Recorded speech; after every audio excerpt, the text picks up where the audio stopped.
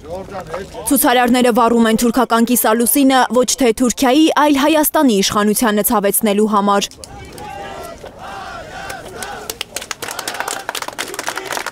Ազգային անվտանգության խորհրդի գրասենյակը Հայաստանում Թուրքիայի դեսպանատուն, աղքարտուղար Արմեն Գրիգորյանին մեր երկրում Թուրքիայի դեսպան են անվանում ցուցարարները։ Հայաստանը զենքերը վայր է դնում Թուրքիայի դեմ քաղաքական պայքարում, իր իրավունքների, իր հիշողության համար պայքարում եւ ուղղակի գլուխը խոնարհում է Էրդողանի ու Թուրքիայի արչեւ։ Այսպիսի տպավորություն է աղքարտուղարի այն հայտարարությունից հետո, թե Հայաստանը պետք է շտկումներ մցնի Թուրքիայի նկատմամբ իր մոտեցումներում։ Աբաշր մենք նոր էլ քննարկում ենք, որ հնարավորություն կա ընդհանուր տարածաշրջանում ապաշրջապ։ Եթե մենք գնում ենք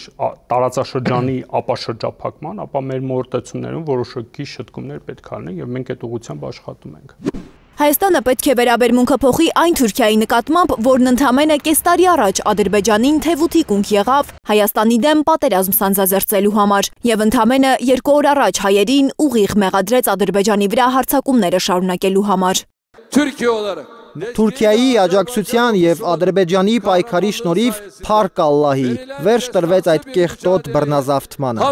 Բաքվի այդ եղբայրությունն ավելի ամրապնդելու Անկարայի խոստումների ֆոնին է Երևանում անվտանգության խորհրդի քարտուղարը Տշնամու սրտին դուրեկան հայտարարություններ անում, որոնք նրա կուսակից գործընկերները ոչ միայն չեն դատապարտում, այլև սատարում են։ Մեր երկրի առաջին դեմքը բաց տեքստով մեզ է առաջարկում տարածաշրջանի նկատմամբ վերաբերմունք փոխել իսկ որպեսզի Հայաստանի շուրջ բարենպաստ միջավայր կարողանանք ձևավորել, պետք է մենք էլ կարողանանք փոխել մեր դիտանկյունը տարածաշրջանի նկատմամբ։ Փաշինյանի իշխանության թշնամասիրության ֆենոմենը ԲՀԿ-ական Արման Աբովյանը Հայաստանի գլխավոր դիվանագետից է փորձում հասկանալ։ Արա Այվազյանը եւս չի բացառում Թուրքիայի հետ երկխոսությունը։ Ծանր ողբերգական անցյալ ունեցող երկրներ ի վերջո գտել են քաղաքական կամք եւ հասկացել են անհրաժեշտությունը ձևավորել նորմալ բարիդրացիական հարաբերություններ։ Ես հուսով եմ, որ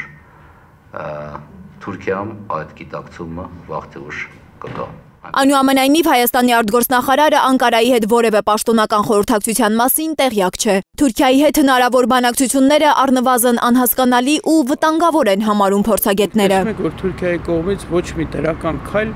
Հայաստանի հետ հարաբերությունները կարգավորելու առումով չկա։ Եվ այս պայմաններում պետք է մենք ես համոզված եմ մեր դիրքորոշումը ավելի կոշտացնենք Թուրքիայի նկատմամբ։ Թուրքիայի հետ բարեկամություն անելու իշխանականների անհասկանալի պատրաստակամությունը թուրքագետ Ռուբեն Սաֆրաստյանը համարում է Բայդենի կողմից հայոց ցեղասպանության հնարավոր ճանաչման խափանման փորձ։ Ջո Բայդենը կարող է ինքը արտաբերել ցեղասպանություն եզրույթը։ Եթե մենք դրանից հրաժարվենք, մենք կնշանակի հրաժարվում ենք հայ լինելուց։ Լիլիթ Գասպարյան, Կարինե Մանգասարյան, Աշոտ Մնոյան, Հայլուր։